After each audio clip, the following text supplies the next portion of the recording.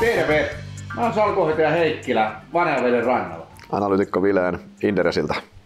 Sauli ja katsojat, tervetuloa Villastoneen Lempäälään Vanhaveden rannalla ihan konkreettisesti. Kiitos. Tänään olisi tarkoitus tehdä erikoisen kuvauspaikan kunniaksi tähän tämmöinen erikoisjakso. Puhutaan siitä, mistä sijoittamisessa on kysymys. Se on ehkä päässyt tuossa välillä, välillä unohtumaan vähän molempiin suuntiin. Ja sitten, tota, ja sitten puhutaan vähän karhumarkkinasta, millaista, millaista tämä on, koska tämä ei ikinä ole kivaa, tämä karhumarkkina. Mutta tota, ennen kuin mennään aiheisiin, niin kerron nyt kaikille, että mistä, mistä tämä nimi tulee. Osa, o, o, vaikka tämä onkin varmasti Suomen sijoituskenen tunnetuin mökki tätä nykyään, niin tota, kaikki ei välttämättä ole kuullut, että mistä tämä Villastone tulee. Voi sanoa, että tämä ei ole kallion päällä tämä mökki. Ei, ei ole, ei ole. Ja tämä ei olisi kivi. Tämä on suomalaisesta puusta rakennettu, eli, eli sidotaan hiiltä ja, ja, ja äh, tuetaan suomalaista metsäteollisuutta siinä, siinä samassa. Tota, joo, ensinnäkin kiva. Meidän piti tehdä tämä kesällä, mutta siihen, siihen äh, valitettavat esteet tuli ja, ja todettiin, että tehdään tämä nyt sitten karhumarkkinan aikaan syksyllä kauniin ruskan ää, paistaessa, mutta aurinko paistaa tuolta ja kivat, kivat kelit on näin niin kuin lokakuun mm. alussakin. Ää, Villastone on ää, eräänlainen ää, mun unelmien, ainakin yksi, yhden unelman huipentuma, saada ää, oma vapaa-ajan asunto konkreettisesti Lempäälään. Tontti on ollut varmaan yli 20 vuotta, täällä on vanha pieni rantasauna ollut ja se nimi tulee siitä, että on yksi onnistunut sijoitus, jota se symboloi, että, että se sijoitusmarkkina ei ole pelkkää peliä tai bittien siirto, vaan se on ihan konkreettia. Sä pystyt sillä pitkäjänteisellä systemaattisella sijoittamisella saamaan konkreettisesti toteutettua niitä unelmia. Stonesoft on se yhtiön nimi, mistä se tulee. Se oli, listattiin vuonna 2000 teknokuplan aikaan huipulla, kurssi taisi olla jossain 20 tai vastaavat. 2006 se tuli arvo-omaisuuden hoidossa ollessani meidän äh, screeningiin. Price to book oli 1,3 ja se bukki oli täynnä Annissa kerättyä rahaa. Kurssi oli tullut 50 senttiä. Tutustuttiin firmaan, käytiin siellä, se oli tietoturva-alalla, ala kuuma, mutta yhtiö oli mennyt niin kuin, tehnyt jatkuvasti tappio eikä näyttänyt houkuttelevalta. Me päätettiin sitä ostaa silloin muutaman kollegan kanssa kohtuu paljon, se oli senttiosake. Ehkä se helpoin syy oli siinä paradoksaalisesti, että sillä oli vahvistettuja tappioita niin paljon, että ajateltiin, että tästä markkina-arvosta joku maksaa sen vahvistettujen tappioiden verran, että sä et voi hävitä, se on ilmainen optio. 2006 mentiin sisään ja 2013, eli seitsemän vuotta. Jokainen kvartaali kuunneltiin ja kävi niin onnellisesti, että yhtiö kääntyi, yhtiö löysi uuden polun Ilkka Hiideheimon johdolla ja 2013 äh, keväällä äh, McAfee, Intelin tytäryhtiö, osti sen 4,5 euroa. Eli se noin kymmenkertaistui. Ja silloin kun sä saat tenbackerin, niin silloin ensinnäkin tulee se valtava onnistumisen riemu. Tulee se rahallinen palkkio, mutta itse asiassa se isompi onnistumisen tunne on se, että sä oot ollut oikeassa ja tehnyt mm. oikeita asioita. Mutta huom, seitsemän vuotta. Ja silloin mä päätin, että mä rakennan tämän mökin niillä rahoilla, sit kun niitä pikkuhiljaa tuli, tilille, niin sitten rakennettiin tämä. Ja mä olin luvannut kavereille, että tänne tulee Villastone ja siellä lukee tuolla kivessä hauta, hautaustoimiston tekeminen Villastone. että ei ole kivi, kivi talo, mutta on, on henkisesti saatu pörssimarkkinoilta ne rahat. Joo, ja toi on ehkä ihan hyvä muistutus myös siitä, että tämä sijoittaminen on pitkäjänteistä puuhaa kuitenkin. Se ehkä tuossa viime, vuonna, viime vuonna niin viime vuoden huumassa saattoi aika monilta unohtua, että oli, oli, oli kaiken maailman kryptohuumat huumat ja muut, niin siinä ehkä tietyt sijoittamisen realiteetit pääsi unohtumaan kuitenkin. No ja jos, jos sen verran nyt kun ollaan täällä ja jäin reilu vuosi sitten vakituista salkuhoitajan tehtävästä pois, niin ää, silloin aina miettinyt, että mitä kaikkea se sijoittaminen niin kuin oikeasti tarkoittaa. Monelle eh, se on sitä, että, että sä teet niin nopeita trading-voittoja tai että sä pääsisit nopeasti autoon tai asuntoon tai johonkin muuhun käsiksi.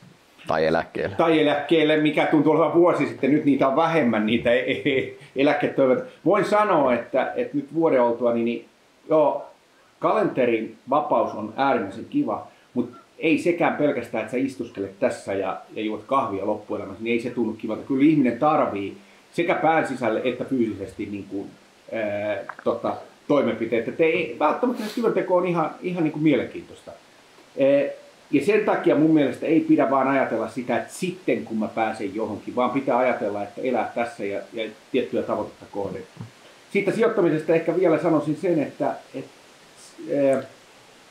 se on pitkäjänteistä, sen pitää olla niin kuin systemaattista ja sitten ne tavoitteethan voi jokainen asettaa ihan mm. omaksi. Ei, mm. Mulla on joku tavoite, toisella on toinen unelma. Mm. Ja, ja, ja sitten kun sä saavutat sen, niin sä voit käyttää sitä. Voi, se voi olla ihan mm. eläke niin kuin, tai mm. varalla oleva raha tai joku tämän tyyppi. Niin siis jos miettii niin kuin käytännössä, mistä sijoittaminenhan niin kuin Joo, ne, sy- ne syyt, niin kuin sanoit, niin on monia, mutta varmaan valtaosalla se on se taloudellisen liikkumavaran hankkiminen. Mm. Totta kai rahan, mihin liittyy ihan pelkästään pelkkä rahan ostovoiman säilyttäminen. Siis pankkitilillä rahan ostovoima heikkenee päivä päivältä, että nyt tällä hetkellä aika brutaalia vauhtia. Ja siinä mielessä se on totta kai varmasti se, se isoin syy, totta kai sijoittamisessa on paljon hyviä niin kuin semmoisia positiivisia kerrannaisvaikutuksia, esimerkiksi se, että sä olet kiinnostunut talouden ilmiöistä ja asioista, sä opit jatkuvasti tosi Juuri. paljon yrityksistä ja maailmasta ympärillä, se on siinä mielessä tosi kiinnostavaa, mutta nähän ei paitsi mikään pakollista. Sä voit ottaa indeksille ja olla viisi veisaamatta, mitä, mitä Amazonille tai Googlelle tai maailma, ma, miten maailma, maailma makaa siinä mielessä. Voit, että se taloudellinen puolihan on, on totta kai se, mitä, mitä kaikki, kaikki, ha, kaikki tai valtaosa varmasti, varmasti hakee, hakee mistä tavallaan sijoittaminen koostuu? Sehän koostuu kolmesta komponentista. Mm-hmm. Mitkä kolme, kolme asiaa, mitkä vaikuttaa siihen sun niin kuin siihen, sijoitusvarallisuuden kasvuun. Siihen vaikuttaa aika, mm-hmm. sijoitettava pääoma mm-hmm. ja tuotto. Kolme komponenttia. Niin, mikä tahansa näistä komponentista nolla, Joo. niin se lopputulos on niin kuin nolla, eikö niin? Eikö, käytännössä tämä on niin kuin, silleen helppoa, helppoa, helppoa matematiikkaa. Äh, varmaan niin kuin vuosi sitten niin näistä yksi komponentti dominoi aika hurjasti, eli se tuotto. Joo, kyllä. Eli kuvitelma oli, että 50 pinnaa vuodessa ei ole edes hyvä tuotto, että pitää olla enemmän ja oli kaikki stonks only go up Joo, ja oli, oli tätä, että ostat tässä ja kun se kääntyy alas, niin myyt siellä näitä Joo. videoita ja oli tätä renta po renta meininkiä, mutta e, nythän on tullut varmasti maanpinnalle palautus itse, itse mm. kullekin siitä, mitä se on, normaali tuottotaso on, että siis normaalit tuottotasothan on pörssissä suhteellis, siis mm. ne on ma- keskimäärin aika maltillisia. Se itse. on aika maltillisia ja, ja nyt me palataan, palataan siihen mm. keskiarvostumiseen taas, että jos me mm. menneet vuodet oli erinomaista, niin valitettavasti nämä, niin. nämä vuodet, vuodet ottaa taka, niin. ta, tai tuo sen siihen niin. keskiarvostumiseen valitettavasti. Ja sitten tavallaan se, mikä on niin kuin aina hyvä sijoittaja myös muistaa näissä, että kun on nämä kolme komponenttia, niin siis se mikä on vähän, vähän ehkä paradoksaalista on se, että Mihin on helpoin vaikuttaa? Totta kai riippuu, riippuu niin kuin elämän tilanteesta näin, mutta keskimäärin sijoittajan on helpoin vaikuttaa siihen sijoitettavaan summaan. Mm-hmm sekä siihen aikaan. Toki ajassa, joo, jos, jos, jos olet esimerkiksi lähellä jo eläkeikää näin, niin sitä kelloa on vaikea kääntää hirveästi taaksepäin, sen mä ymmärrän. Mutta niin kuin periaatteessa näihin kahteen sä voit vaikuttaa. Mutta sitten se, mihin on todellisuudessa tiettyyn, tiettyyn pisteeseen asti sä pystyt vaikuttamaan myös tuottoon. Mm. Paljon otat se osakeriskiä, bondiriskiä, mitä riskiä sä haet. Niin kuin indeksitasolla sä voit valikoida. Jos sä oot pankkitilillä, niin sä oot niin kuin nolla ja no, jossain prosentin korvilla. Bondeissa sä oot ylempänä ja osakkeessa sä oot ylempänä. Mutta sen jälkeen, jos sä haluat esimerkiksi osakemarkkinoilta yli sen, in, sen indeksituoton, mikä on se tylsä, mitä 8 prosenttia tai jotain, jos sä haluat paremman tuoton, niin se menee aika vaikeaksi. Kyllä. Siis indeksin voittaminenhan on niin kuin ihan keskimäärin äärimmäisen hankalaa. Siinä Joo, ei ole kahta sanaa. Kyllä, kyllä. Se viime vuonna tuntui helpolta, Joo. mutta nyt taas muistutus, että se, se ei oikeasti sitä ole. Tämä on äärimmäisen kilpailtu laji. Ja sinänsä se on vähän hassua, että kun sulla on nämä kolme komponenttia, sä voit kahteen vaikuttaa keskimäärin aika paljon, ja kolmas on kaikista vaikein, niin kaikki efforttihan kaikki käyttää tähän. Kyllä. Ei, näinhän, se, näinhän se menee periaatteessa. Ja e, tuohon on niin pakko sanoa viime vuosia, ja nyt vaikka Inderesia Inderesin nousua seurannut ja, ja, ja sitä innostusta, mikä, mitä osakesäästötilit ja muut toi, niin äärimmäisen hyvä on, että lopultakin meille suomalaisille 2010-luvulla koska silloin mun mielestä se on alkanut, on kerrottu, että se aika, sä voit vaikuttaa siihen. Eli yhä nuoremmille avataan osakesäästöjä. Kyllä, se on tosi hyvä. Usein isovanhemmat avaa niin kuin lahjaksi lastenlapsilleen, että avataan oh. se ihan pienenä, koska silloin horisontti on 18 oh. vuotta automaattisesti ennen kuin se mm-hmm. lapsi saa niitä, niitä tuota, rahoja tai äh, vanhemmat avaa, jos, jos siihen on realiteetti. Sitten aika on tullut niin lopulta, mihin voit oh. vaikuttaa. Sitten se säästämisaste on, se on tietysti jokaisen omakohtainen. Ja mun mielestä tämä suomalainen,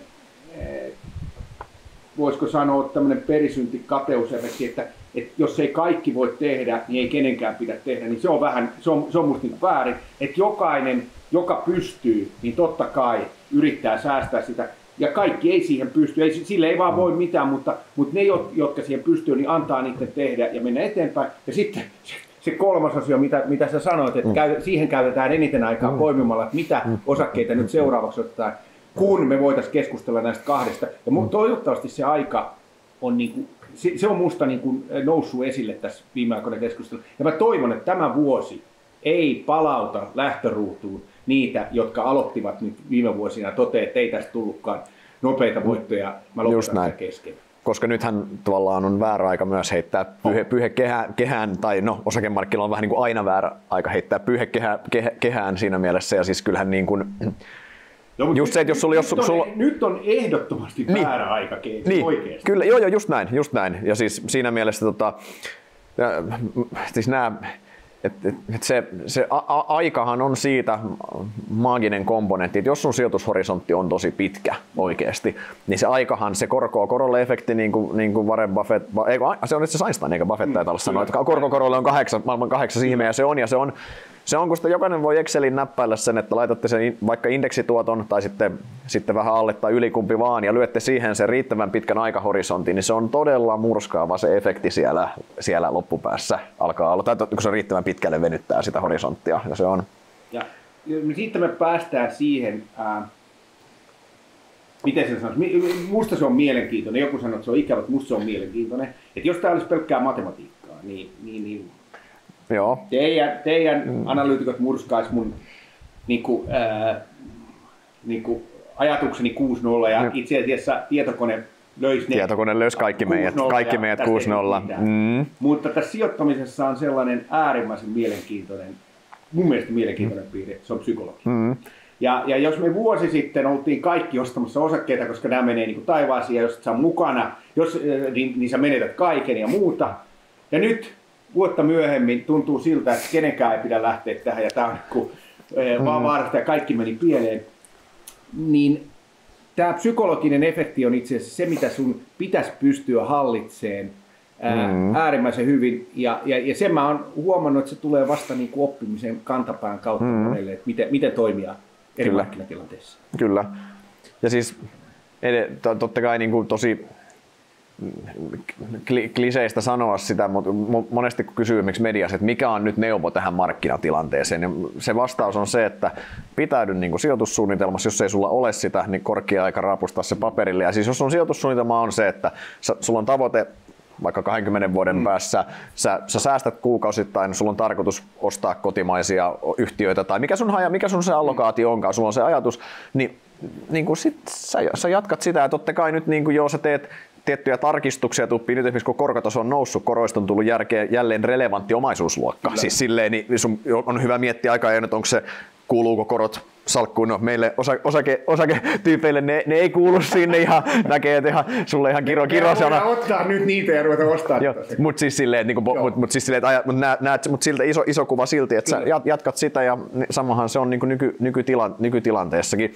Mutta mut tästä itse asiassa psykologiasta päästään siihen niin kuin, niin kuin toiseen aiheeseen, nimittäin tähän karhumarkkinaan ja sen niin kuin, siihen tunneskaalaan, mitä siinä käydään. Siis, Tää, mulla on niin ainakin, nää, vaikka mäkin olen niin joku sen karhumarkkinan tässä, tässä omalla, omalla uralla, niin, niin kun finanssikriisi oli ensimmäinen, sitten eurokriisi, tästä on koronakin ehti karhumarkkinaksi luokitella ja näin, niin ei tämä niinku helpommaksi mene, tämä karhumarkkina, mutta helpottuuko sulla? Sä, sä oot nähnyt vielä niinku enemmän näitä kuitenkin, sulla on joku, joku näitä enemmän vielä, niin onko niinku, näihin helpommin suhtautua vai tuntuuko se aina yhtä pahalle? Tota, se on hyvä kysymys. Ähm, lähinnä, lähinnä oman pään sisässä, kun mä mietin, että, että, että alkaako tulla mielipuolinen olo, jos sanoo, että, että tota, nämä, nämä helpottuu. Ää, koska ää, arvo niin kuin, kun on tykännyt aina halvoista osakkeista, niin silloin kun kaikki menee ylöspäin, niin tuntuu vähän semmoiselta, että tässä ei ole niin kuin, tämä menee niin kuin liian hyvin vuosi mm-hmm. Mutta kyllähän se kiva on, kun nousee ja kaikki mm-hmm. vaurastuu ja menee niin kuin kivasti, niin kyllähän minä siitä nautin. Niin, ja, niin. Mutta salaa vähän toivon, että tämä muuten semmoinen niin pikku talvi tekisi ihan hyvää tälle, että tämä ei mm-hmm. ole ihan näin helppoa, kun, kun menee, että tämä on 100 prosenttia kaikki salkut vuodessa. Ja sitten kun se tulee, niin äh, kyllä mä väärin sanoisin, että mä jotenkin niin kuin nauttisin tästä. Se tuntuu aina yhtä pahalta ja jos siinä ensivaiheessa tuntuu, että no niin, nyt, nyt te näette miltä tämä sitten oikeasti tuntuu, niin viimeistään siinä vaiheessa, kun katsoo oman salkkunsa äh, numeroita, paljonko mm. on mm-hmm. hävinnyt kyllä. tämän vuoden alusta, niin siinä vaiheessa viimeistään pysähtyy, että ei tämä mm. ole kiva. Ja, ja tota, äh, vastaus on siihen, ei siihen totu koskaan. Mm.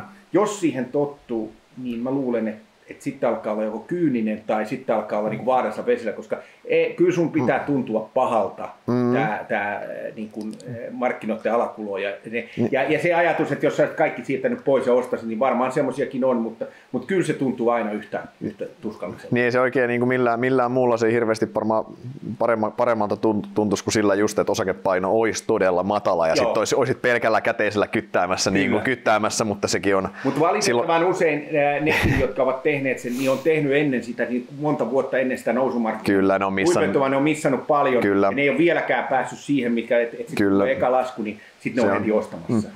Mutta joo, kyllä se on, se on jännä tuossa kar, karhumarkkinassa, kun siellä alkaa tulla näitä, nämä tietty tunneskaala. Sulle tulee semmoinen, semmoinen äh, äh, äh, niin kuin, no se vi, ihan loppuvaiheessa sitten alkaa tulla, joskus voi tulla ihan niin kuin epätoivoinen olo, mutta sitten tulee semmoinen niin kuin, semmoinen pelko, pelon kyllä. tunne on ihan normaalia. Sitten tulee, salat epäillä osaamistasi. Joo, kyllä. Osaamistasi. Vaitove ainakin, mä en tiedä, onko sulle tuntuuko tämä sun mielestä erilaista, kun sulla on asiakkaiden rahaa hoidossa? Koska mä huomaan, että mulle näitä, totta kai niin työn puolesta, niin voimistaa myös se, että miten sun suositukset os, osu, osuu, että jos sun suositukset on vielä ihan vääristä laata, jossa niin kuin tavallaan välillisesti tai suoraan häviät asiakkaiden rahoja niin sanotusti, Joo. niin sehän pitäisi ainakin itse huomaa, että se voimistaa sitä, jos, jos näin on. Mä en tiedä, ootko huomannut saman niin kuin versus, nyt versus työelämä? Joo, siis se, että, että tota, kun sä hoidit asiakkaiden varoja, niin sun, sun vastuu oli, oli niin kuin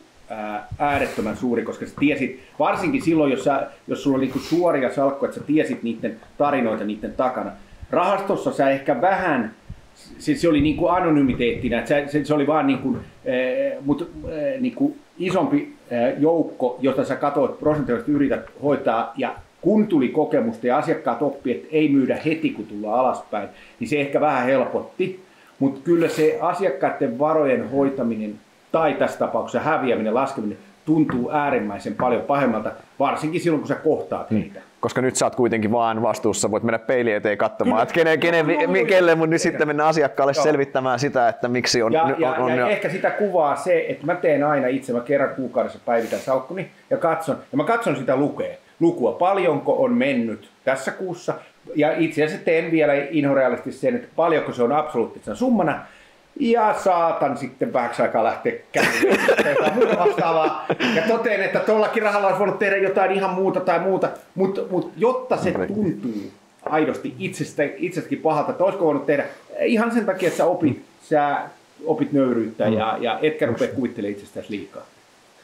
Se, niin kuin, mitä osakepoimijana ja niin kuin analyytikkoa, niin yksi niin kuin ehkä hankalimpia niin kuin tunteita siinä karhumarkkinassa on se tietty semmoinen, se on aika lohduton tunne se, kun sä kuvittelet, että sä olet määritellyt jonkun yhtiön arvon, mm-hmm. ja sitten se osake menee, niin kun, se, se laskee siitä niin kun todella voimakkaasti sen alle, niin se, se, on, niin kun, se on jotenkin, se on tavallaan kun sä alat, sähän alat epäillä itse asiassa. Mm. Esimerkkinä siis, että vaikka otetaan koronakriisin aikaa vaikka, niin siis, vaikka nyt mä ainakin esimerkkinä, että se nyt on selkeä, kun kaikki tietää sen, niin Sambo, mm. siis se oli silloin, sehän, sehän rysähti jonnekin 20. Mä, oon, niin kuin mä kuvittelin, että mä oon laskenut aika tarkkaan, että se arvo on noin 40. Sitten sä, mm. sit, mitä, sit sä alat epäillä, eikö mm, niin? Kyllä. Mitä mä en tajua? Joo. että tuolla on fiksuja sijoittajia, ketkä Joo. kuvittelevat hyvän kaupan myymällä. Joo. Mitä minä en tajua? Tässä on jotain. Sitten se narratiivi alkaa ottaa niinku valtaa, eikö? Mm. Niin sä alat miettiä, että no, tässä on jotain pakko olla, mitä mä en tajua. Ehkä se niiden sijoitussalkku niinku räjähtääkin tässä tai jotain tapahtuu. Se niinku, e, e, sä alat niinku miettiä, sä alat niinku ajatella ja sun on, samaan aikaan se tuntuu myös niin jotenkin älyllisesti epärehelliseltä se ajatus, että tämä on 20, No, tämä nousee ihan kohta 40. Eihän se, eihän se vuosituotto Joo. voi olla 100 prosenttia Joo. tai 50 Joo. prosenttia. Eihän, se, eihän, sammon, eihän, eihän niin kuin tämmöisen large capin vuosituoton pitäisi olla kuin niin, niin paljon tietenkään. Miten se, miten, se, iki, miten se voi palautua niin kuin seuraavan parin vuoden aikana sinne? Ja no, sitten se niin kuin lopulta, eh, lopulta se toki palautuu, mutta tämä, tämä tunne tavallaan jotenkin, se, se on niin kuin, se, että kun se, se, se painuu niin rajusti miksi alle se, mitä sä oot kuvitellut sen olevan. Totta kai se voi myös olla, että sä oot lä- läheskään ainahan sä oot oikeassa, niin sä oot laskenut sen käyvän arvon täysin väärin. Välillä tulee näitäkin keissejä. Mutta siis niin kuin, mä en tiedä tunnistatko ton Tun, fiiliksen. Tunniste, ja, ja, ja, ja tota, äh, siihen niin kuin rahaston hoitaja ajoilta hyvä muistaa, että, että silloin kun markkina menee hyvin, niin rahastoihin tulee rahaa. Mm-hmm. Pankkirahastoon tulee enemmän, pienempien yhtiöiden rahastoon tulee vähemmän, mutta kaikille tulee käteistä. Eläkeyhtiöille kasvaa yleensä se sijoitussolku, kun ne uskaltaa ottaa enemmän riskiä, ja yksityissijoittajat toteaa, että no, mullahan itse asiassa on tätä varallisuutta, mä voin pistää, ja, ja, ja niin kuin rahaa tulee markkinoille, sulla ei ole mitään kiirettä myydä niitä hyviä kohteita. Jos, jos sulla on käteistä, niin sä toteat, että tänne tuli taas lisää, ja mun pitää löytää lisäkohteita. Sä et ainakaan myy. Eli tarkoittaa sitä, että se myyntilaita eräällä tavalla ohenee mm-hmm. ja ostolaidalla on kaikki sun kollegat. ja kaikki muutkin. Ja kaikki muutkin. Ja, ja, ja, kuinka siinä puhalletaankin siitä nätisti niitä yrityksiä, joten arvoja on määritelty, että se on tuolla noin. Ja mm. näin ne menee. Niin ja tässä ne narratiivit toimivat ja toiseen suuntaan, pakko sanoa siinä niin kuin toimii. Että ehkä, ehkä nuo riskit ei ole niin merkittäviä. Ehkä tämä voisi olla vähän, vähän no, matalemmalla tuottovaatimuksella. Ja, eiks niin, ja, eiks, e- ehkä tämä voikin kasvaa vähän kovempaa. Kyllä, se, ja, juu, juu. Mä muistutan vaikka niin kuin vuosi sitten, sitten kun korko oli nolla, niin mullakin on sijoituksia, jotka mä oon tehnyt sen takia, että mun mielestä eh, mä uskon, että se on tasainen 6 prosentin tuotto. Ja nyt kun korkotaso on noussut merkittävästi, niin se on tullut alaspäin. Eh, mun pitää ajatella vähän niin kuin bondina. Mä oon tehnyt sen silloin huonolla bondituotolla. Eh, se yhtiö ei sinänsä ole kauheasti muuttunut, sen rahoituskurssi on vähän noussut, mutta se kurssi on voinut tulla alas. Mm. Ja ei mun pidä siitä, sitten sit sen kanssa eletään. Mutta mä palaan siihen maailmaa, jossa kaikilla on rahaa. Sitten tulee se tilanne, jossa esimerkiksi nyt keskuspankki alkoi nostaa korkoja. Sitten tulee vielä niin sotatilanne, epävarmuutta. Sijoittajat alkaa vetää rahojaan pois. Ne vetää, eläkeyhtiötkin saa pistää nyt korkoihin taas. Yksityissijoittajat tulee vähän varmaan, joku osa myy. Sen jälkeen rahastoistakin rupeaa lähteä rahaa pois. Sama porukka ja tämä vaikka otetaan pienyhtiörahasto, jota, jota silloin hoidettiin Viitiko Ollin kanssa, niin se joka on sijoittanut niihin pienyhtiöihin, niin yhtäkkiä käy niin, että sieltä pienyhtiörahastot lähtee pois, jolloin mm-hmm. sulla ei olekaan enää sitä ostopatiaa, vaan sulla rupeaa tulemaan pikkuhiljaa myyntejä, niin siellä on semmoinen, se ei näy eikä kukaan kerro, mutta kaikki tietää, että siinä on semmoinen ilmaa, semmoinen yhtäkkiä, tjup, sitten katsotaan, että tämä on tässä. Mm-hmm. Ja kun pääset siihen Sampo 20, niin sit sä alat epäillä itse, että Kyllä. miten tämäkin yhtiö, ja se on ihan turha sanoa äh, salkoita, että miksi sä, miksi sä myyt näitä kaikkia, mm. koska kun sulta lähtee raha, niin sä myyt kaikkia. Ja silloin siinä käy ilmiö, että kaikki osakkeet tahtoo laskea, siis toiset vähän vähemmän, toiset vähän enemmän, mutta, mutta tosiasia on, että ei se, äh, niin kuin kaikki yhtiöt, jostain tarvitaan rahaa, niin se Sampokin tulee sieltä koronassa 4-20 ja sä olet kuitenkin niin kuin mm. ihan oikeassa. Tämä vaatii sitten niitä hermoja, mm. päättäväisyyttä ja uskoo siihen omaan ää, niin kuin tekemiseen, koska kyllä se sitten pitkällä aikavälillä taas tulee, että näiden floatten mukana, jos yrität mennä, niin, niin, niin väärin menee ihan taatusti. Joo, mä, joo, siis se on just, just näin ja siis noin, mä muistan niin kuin mä ennenkin jossain, varmaan jossain, onko jopa meidänkin jossain jaksossa aikaisemmin käyttänyt esimerkkinä, mutta sijoitusvarallisuutta alkutaipaleelta niin kuin tuolta finanssikriiseiltä, muistan oli semmoinen yhtiö kuin PKC Group, se, oliko teilläkin salkusta, taisi olla pitkään, se oli, ihan, se, oli ihan, se oli hieno firma ja näin. Näin, niin tota, ne, se oli, se oli niin kuin, mä olin, kat, se te, se, olin hahmotellut silloin niin kuin hyvinkin yksinkertaisesti niin kuin kirjekuoren taakse, että joo, tämä, niin tämä pystyisi tekemään semmoisen Euronepsin, tämmöinen bisnes kertaa kymmenen on, on ky, ky, ky, niin kuin kympin osake suunnilleen. Sitten niin kuin, sit lähtee tulee alas, sitten sä ostat, ostat, ostat, sitten sä muistat niin kuin jossain, ne, olisiko ollut neljä vai viisi euroa, missä se oli silleen, että no ei hitsi, että niin kuin, tämähän on niin kuin, ei eihän tässä enää mitään järkeä. Joo. No sit se menee, niin kuin, se meni, meni, vielä, se menee vielä alemmas siitä, menikö se, men, mihin se, menikö se halvimmilta, se meni, se meni siis, se meni siitä ihan selvä, se, Musta, kuinka paljon se siitä, menikö se jopa niin kuin lähemmäs kahta, kahta euroa, se oli silloin ihan se pahin flasautti siinä. Ja sitten alat niin kuin, a, miettiä siinähän tosissaan sitä, että sä alat itsekin niin kuin melkein luovuttaa, että sun tekee, että tässä on joku, että tämä varmasti menee kohti niin kuin nollaan ja konkkaan. Tässä Joo. on joku, niin kuin, että sä alat niin kuin epäillä itse, että sun on pak, siinä on pakko olla joku pielessä. Tässä ei vaan, että tätä ei, ei kukaan voi myydä tätä edellisen vuoden tuloksella joku P2 Joo. vai 3 vai millä. Et ei niin kuin, ja sitten sit sieltä tulee joku pieni triggeri siihen suuntaan tuommoisessakin. Sieltä tuli silloin, että Volvo ilmoitti yksipuolisesti iso asiakas, että 20 prosentin hinnan alennus, mikä, mikä olikaan tämmöinen. Sä no niin, että tämä varmaan seuraavaksi tulee konkurssi-ilmoitus ja muuta. Ja sit sä niin kuin, ja edelleen se, niin kuin, sit se, no sitten toki, toki niin kuin, sit lopulta sitten firma ostettiin 16 euroa pois ja se käy parvo, ei, se, se itse asiassa kasvoi siitä kympistä jonkin verrankin hyvillä yrityskaupoilla ja näin sitä oli hyvin johdettu firma ja näin, mutta siis vaan se, että se, se tuntuu, ja toki siis se, mikä on niin itse huomannut se, että varsinkin niin kun mennään fundamenttibisneksiin, tämä, tämä koskee vähemmän tekibisneksistä vaikeampaa, niin arvonmääritys on. vaikeampaa, mutta fundamenttibisneksissä, jos nämä ihan perus niin kuin arvonmääritysmenetelmät, mitkä by the way viime vuonna tuntui, että heitettiin rom, romukoppaa ja näin, mutta jos alat katsomaan niin kuin niinkin tämmöisellä boomeri-jutulla kuin Grahamin vaikka viiden Joo, vuoden, ke, tämmöisen se, että okei, okay, viiden vuoden keskiarvotuloksella, mm-hmm. tämä treidaa jollain niin kuin yksinumeroisella PEllä, niin et se niin lähtökohtaisesti, jos, se, jos siinä liiketoiminnassa ei ole tapahtunut mitään niin kuin isoja muutoksia, että sen lähtökohtaisesti niin kuin ihan hirveän ei. väärässä siinä, jos sä katot, niin kuin, alat hahmottaa sitä norma, normalisoituu tulosta, jos se treidaa oikeasti halvalla sillä, niin kyllä se, niin kuin, kyllä se kes, keskimäärin aika usein on tuolla tavalla oikeassa lopulta. Välillä tulee niitä, hit, niitä huteja sitten kunnolla, eikö niin, että, että se yhtiön liiketoimintakin dramaattisesti muuttunut. Mutta niin kun... kyllä, kyllä. Esimerkkinä voi ajatella nyt niin kuin vaikka e, mm. tältä vuodelta ottaa se Fortumi esimerkki, jos niin. on niin dramaattinen. Joo, just noin, tommonen voi tulla... To, et, niin. et, et se voi, joka piti olla ihan tasasta bisnestä ja sitten se tulee yes. tämän tyyppinen. Mutta äh, hyvä ää, niin kuin ohjenuora siihenkin on siellä omassa salkussa katsoa vähän niin kuin eri tavalla niitä. Et sulla on tämmöisiä yhtiöitä, jotka ovat olleet hyvin tasaisia, jotka tekee tekee ne sitten vaikka kuppeja tai jotain niin. ihan, ihan perusbisnestä. Ja sitten jos sulla on, niin kuin sanoitkin jo teknologiayhtiö, niin siellä on aina eri driverit, että sun oh. pitää niin kuin voittaa. Se kilpailu voi oh. yhtäkkiä muuttaa koko teknologian Kyllä.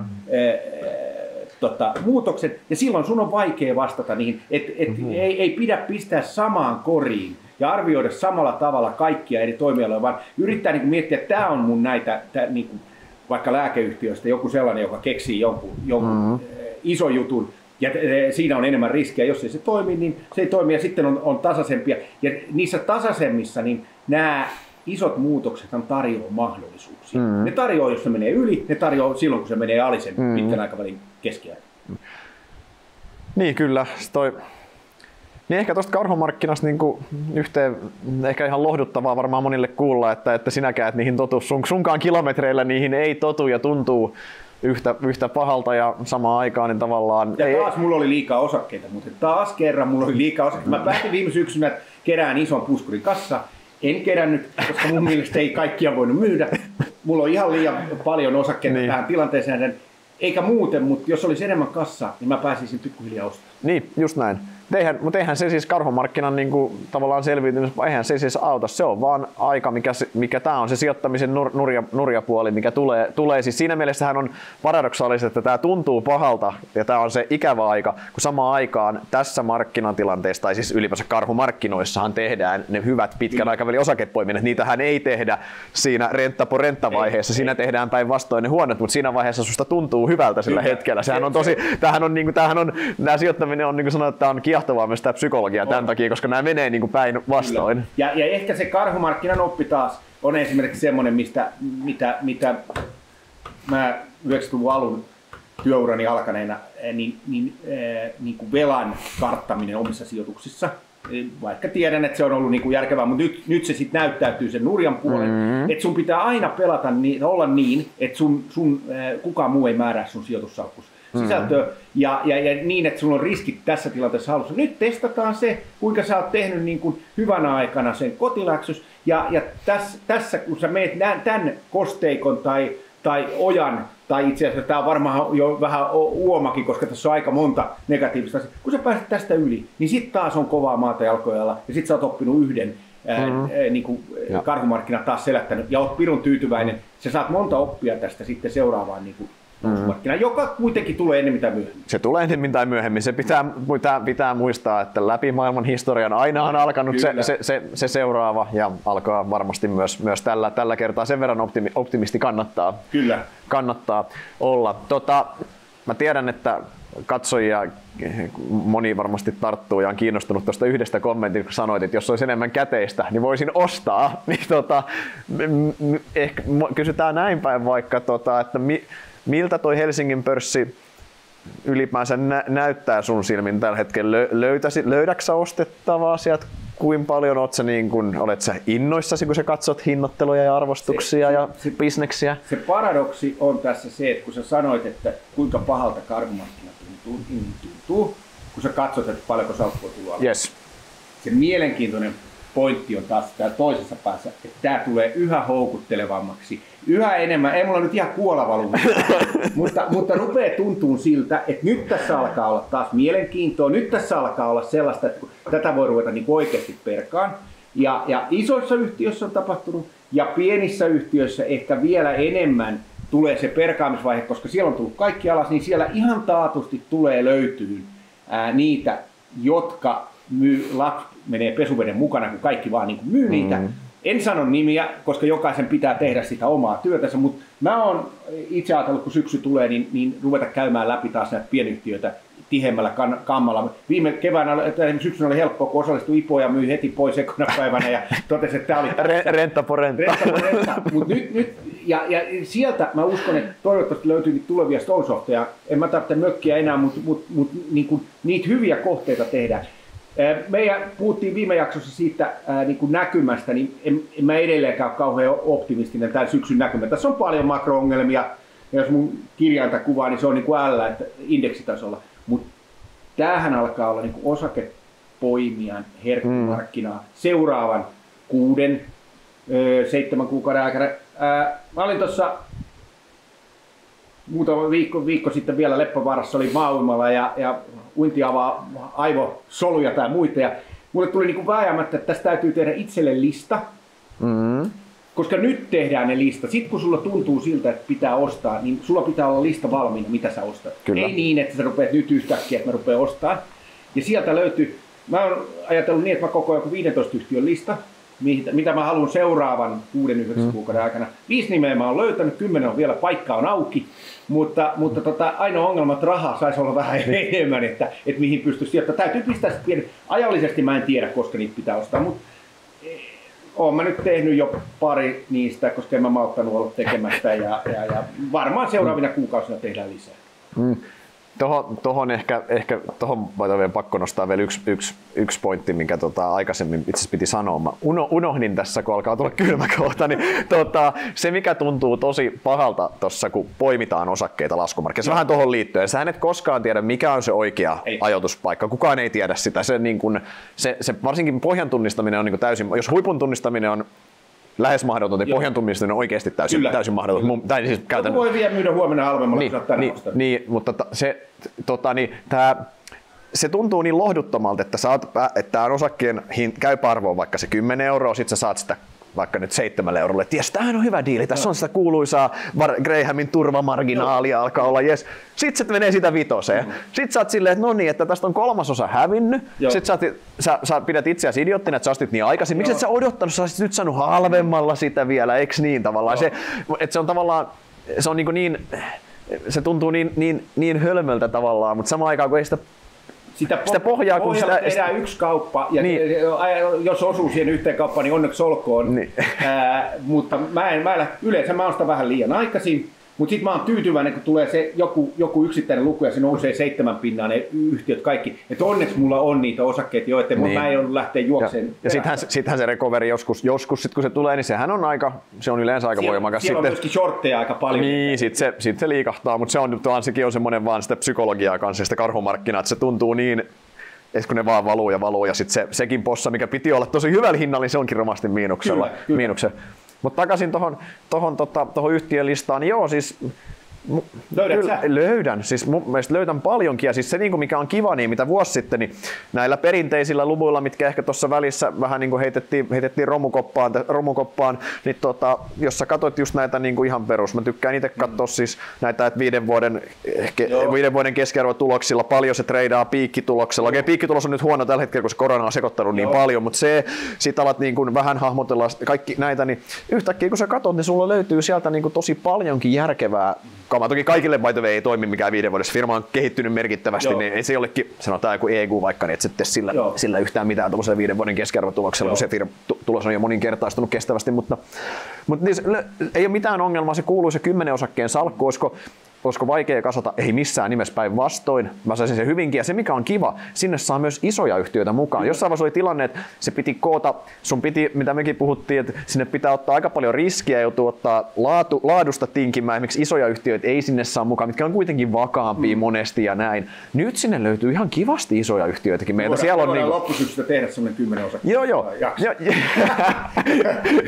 no, joo, voi. Mä tiedän, että moni kiroo niitä, että miksi te sano niitä, mutta no. ei ole aika vielä. Ei, no, tehdä, no, tehdä, voidaan, voidaan, voidaan tehdä, tehdä vaikka katsotaan, jos seuraavaksi tehdään se, mutta, mutta tosiaan kyllä me, ei mulla ole siitä, niin kuin, kyllä mä niin. kyllä löydän, löydän tosiaan niitä, niitä ja sinne saa, niin kuin, nyt sinne saa hyvän, ihan hyvän hajautuksen Joo. toimialallisesti. Joo, sä saat niin kuin, iso yhtiö, pienempää yhtiö, saat, saat, jos saat, ää, sä, sä, saat, sä et joudu, sä saat jo laatua sinne, Joo. hyvällä hinnalla, kyllä. jossain vaiheessa laatu, laadusta piti Joo, maksaa ihan kyllä. järkyttäviä Joo. hintoja, että sun ei ole pakko rakentaa sitä mikään niin turnaround-poimintojen varaa, vaan sä saat ihan laatuyhtiöt. Mulla ei ole tosiaan ei ole mitään ongelmaa, ei ole sitä kasata, ja mä uskon, että sen salkun tuotto on oikeinkin hyvä semmoinen, let's say 3-5 vuotta. Onko se nyt se optimiaika? En, en tiedä. Siis tietenkään pohja on vaikeaa. Voi hyvin olla, että on, niin kuin sanoit, makronäkymä on tosi synkkä ja jos tästä kunnan taantumaan mennään, niin arvostuksessa voi olla tilaa korjata alas, mutta siis tuotto on vaan silloin vielä parempi Joo. yksinkertaisesti. Mä, mä on niin kaksi asiaa. Toinen on se, että mä en,